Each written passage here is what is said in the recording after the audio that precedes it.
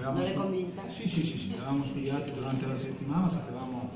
eh, come lavorava eh, il Cuneo, per 38 minuti siamo stati bravissimi a contenerli, a fare la partita, a fare gol, a mio avviso potevamo anche eh, raddoppiare, raddoppiare sapendo che poi di fronte avevamo una squadra che sta facendo molto bene, una squadra che sa, eh, che sa, che sa cosa fare, ma noi questo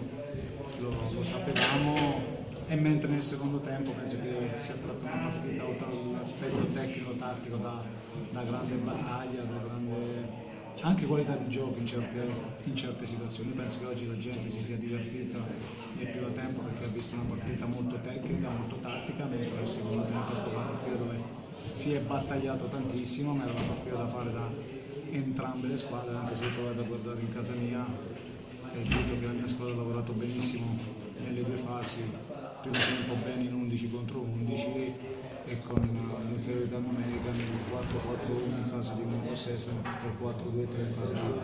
di, di, possesso. E tranne la parata di, di Peccatovic finale, Cuni comunque aveva alzato il baricentro ma non ce n'era mai intenzione.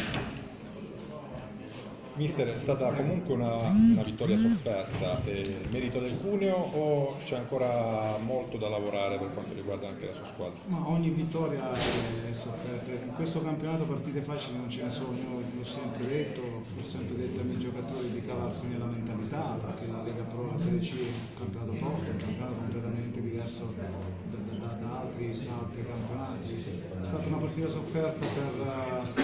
per 38 minuti no, anzi per 45 minuti per il primo tempo poi mai sofferto. Il secondo tempo abbiamo sofferto ma dove loro ci hanno impensieriti è stato solo su- sull'azione, sull'azione finale e il colpo di testa mancato, ma era normale che comunque giocare per tantissimi minuti con un qualcosa devi concedere all'avversario anche se noi dobbiamo essere più bravi nel ripartire perché in certe situazioni potevamo ripartire e potevamo parti- ripartire bene, l'abbiamo fatto negli ultimi 5 minuti finali, io penso se l'avessimo fatto un pochino prima potevamo sicuramente fare qualcosa di meglio, ma questo, queste due vittorie per noi sono due vittorie importanti dove bisogna lavorare tanto anche nelle vittorie perché ci sono, ci sono, ci sono due errori, noi sappiamo dove intervenire, dove lavorare, dove migliorare, perché sappiamo benissimo che partite facili non ce ne sono. Mister, un'ultima battuta l'abbiamo vista molto nervosa, soprattutto nel secondo tempo. Un giudizio sull'arbitraggio e sulla scelta di espellere il vostro giocatore? Ma guarda, io non sono abituato a parlare degli arbitri,